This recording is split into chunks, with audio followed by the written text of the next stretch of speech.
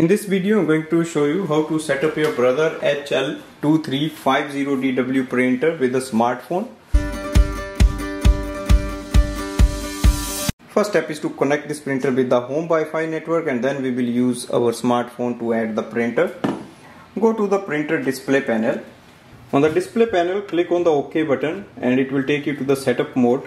Now press this button, go to the network and press OK and then look for the Wi-Fi WLAN and press OK. OK on the setup wizard.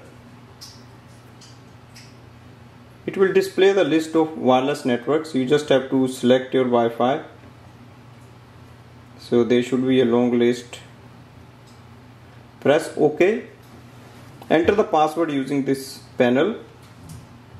Press OK to apply. For digits you can use this press ok. So it's easy to use. Once you are ready press ok to apply the password and confirm with here. Wait for the printer to connect. Printer is connected to the home Wi-Fi network. Now press ok and you can just scroll back.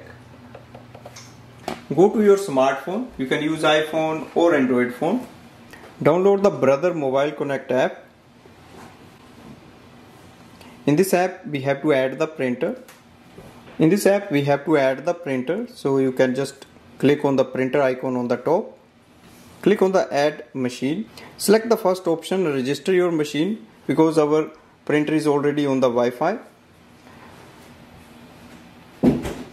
Once you see your printer name select it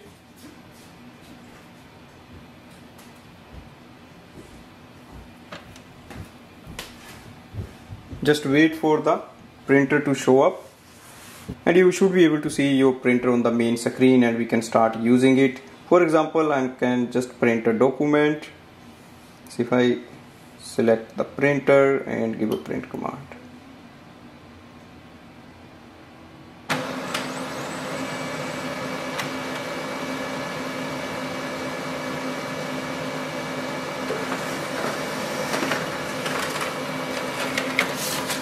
so that's our print result.